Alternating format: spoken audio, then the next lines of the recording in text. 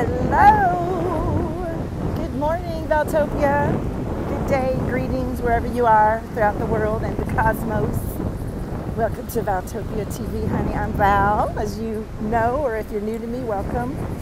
I am a cosmic visionary guide. I support leaders, creative visionary leaders, to embody the dreams they've been holding in their heart and to really show up as epically and impactfully as they know they're meant to, despite whatever everybody else around them is saying, despite their fears.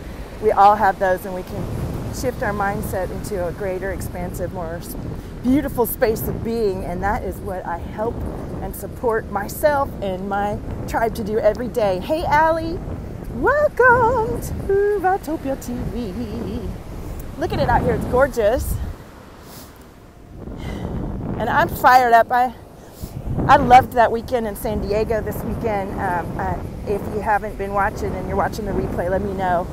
And um, I uh, having time away from your usual routine and giving yourself space to tune in and really see how you think and feel is the most blessing gift that you can do for yourself and everyone that knows you.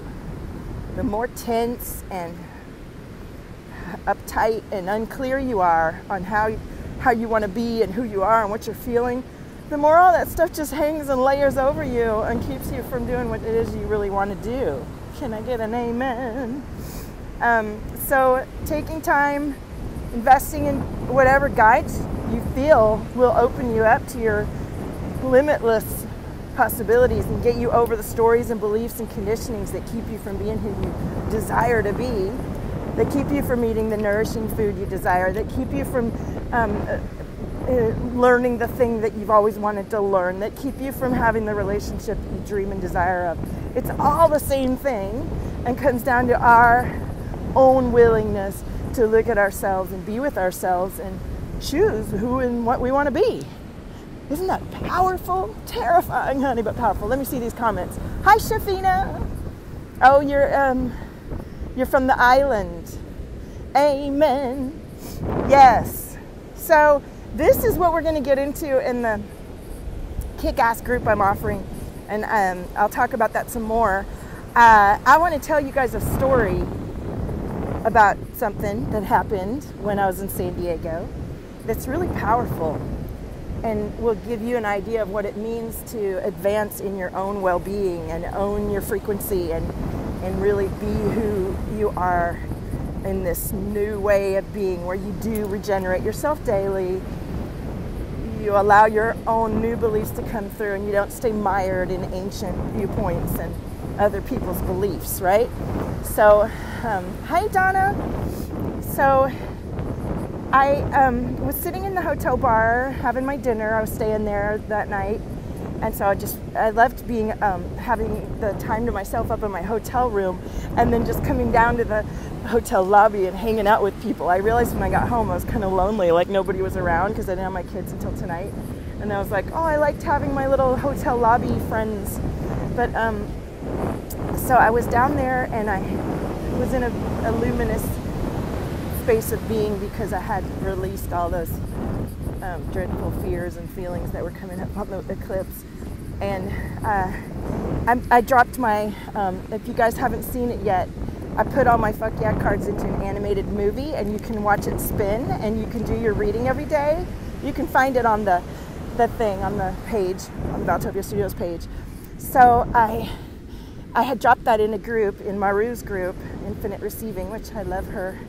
And um, one woman responded to the grounding post. And so I could tell that she was highly empathic. It just knew, just a knowing. I don't know her, I don't know anything about her. And I said, Do you know what that means for you? And she said, Kind of.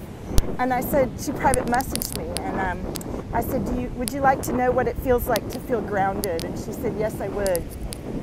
And so, um, with her permission, I just tuned in quickly to her. And she felt me tune in. And then I did the grounding with her, and she said, I feel tingling in my feet. And I said, That's it, exactly. You're, this is you grounding. And so uh, she was delighted and felt peaceful and lighter than before she had spoken to me.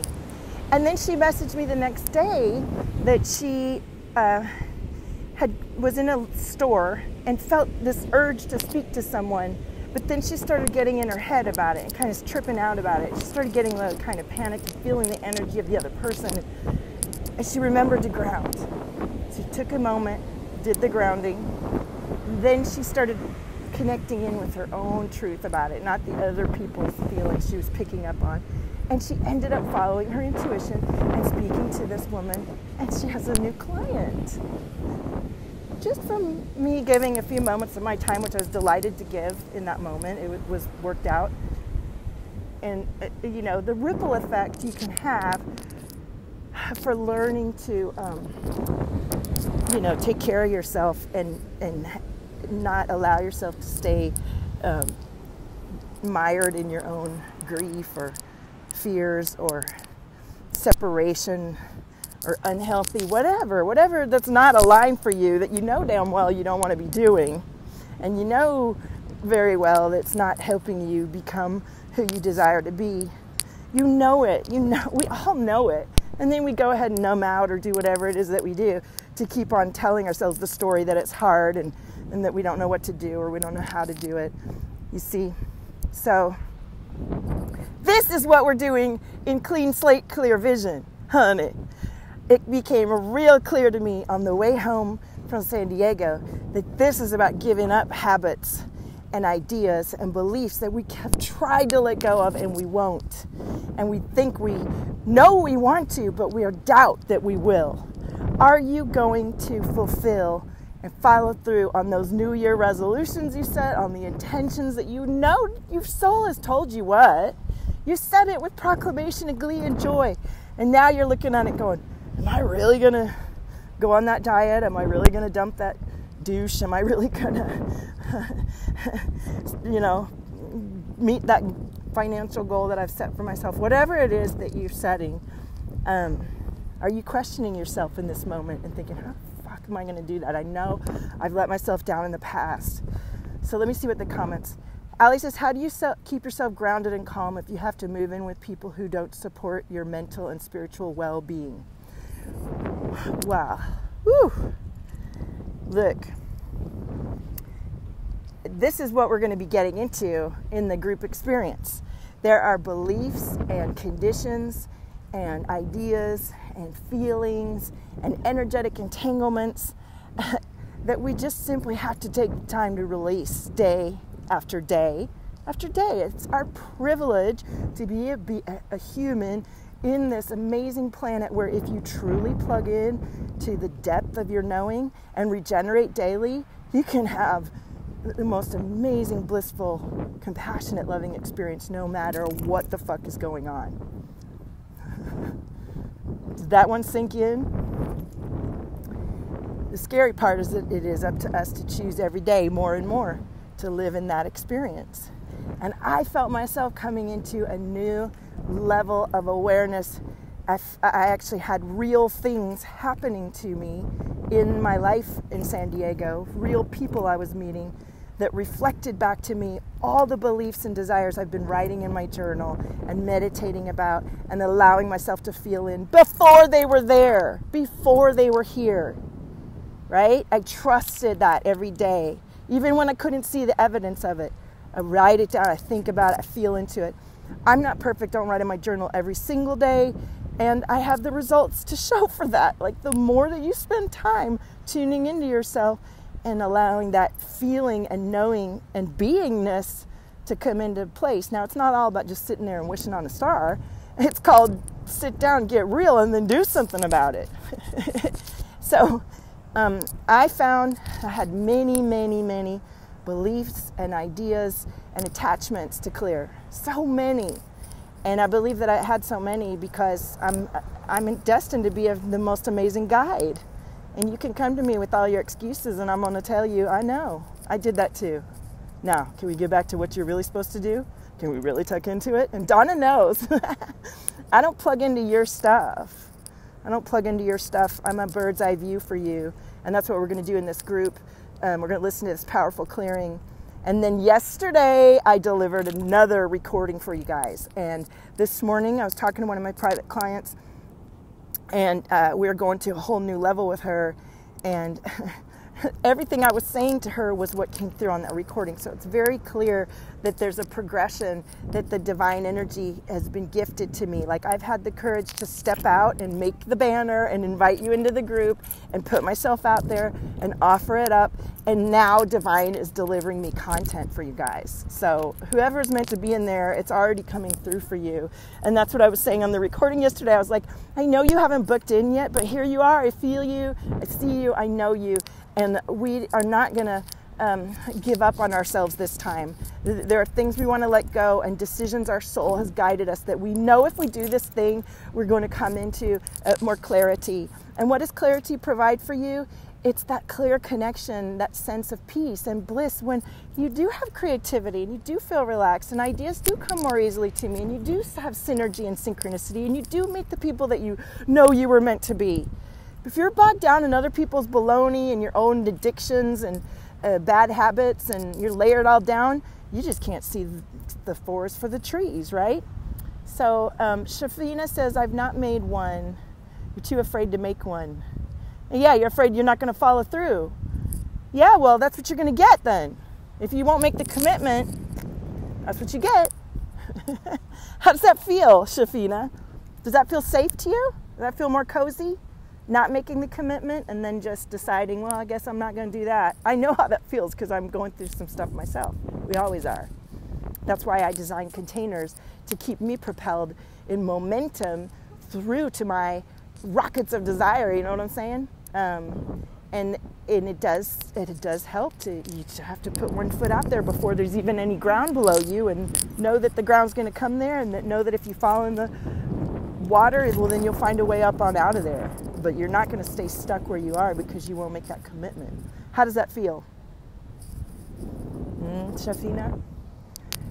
So that's the message I wanted to bring through about the grounding and about sharing your messages as you learn them, sharing with those around you, you know, as you learn each new trick and wonderful bit of wisdom that helps you be more peaceful and connect more deeply into yourself and get over the past and become a cosmic warrior of light and creation share that shit, you know, and open up other people. Don't pro- proselytize. Don't bug people who don't want it. and put show yourself, and then when people ask questions, we'll then be glad to answer and help. And and if you're ready to make a commitment to yourself, and you're you're looking at yourself in the mirror, going, I don't know, I, I can't make that commitment. I need some support. I've created a really easy container for the next two weeks. Um, it's I got to put the start date, but it'll be for two weeks. Sorry. Um, I think we're starting. I'll post it. and um, we're going to clear any like spiritual dogma, any sort of religious re- beliefs, stuff from your grandparents and your, you know, we clear that stuff in these recordings and in the energy, and then we just talk about the habits each day. We have to face it every day and get into a better place of mindset and being, and learn some tricks that you can carry through you with you. Yeah. Anybody got any more comments to say? I got two people on this fiery sermon. I guess I should have shared it a few places, but um, it's beautiful to be able to connect with you in this way. And I'm loving that there's more and more people on our page and more and more interactions each time um, I go live. And it's super exciting. Um, but I'm, it's coming through whether you sign up for it or not. You can catch the replay. I'm sure I'll market the replay but I would catch it live. You're going to get the live energy, and it's it's the divine container. There's your spirit guides are calling you into it if you feel it. So fiery, right, Donna? I know. Well, that's what comes from my own clarity. And I was telling myself last night, it's like the more clear you are, the better things get. So why do anything or be with anybody or choose any sort of activity that uh, keeps you from being in that beautiful space of clarity and receiving and connection? I choose the connection. Yeah, is that hard?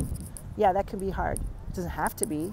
It's not hard when you know how beautiful it is on the other side of making that difficult decision and getting through the, you know, your fear mind doesn't want to give stuff up or change. That's why we're afraid to make commitments. But um, you got to learn to turn that fear mind down or assuage it, you know, make it feel safe and keep doing what you're doing anyhow. Yeah? That's what's going on. All right, Valtopia, listen. Donna, thank you. I have a new recording coming through, so we, we're going to call some people into the group so we can allow this experience to come through. And um, I'll put the links when I get back to the studio. And own your frequency, honey. There's nobody like you. Hey, look, it's Venice. Ooh.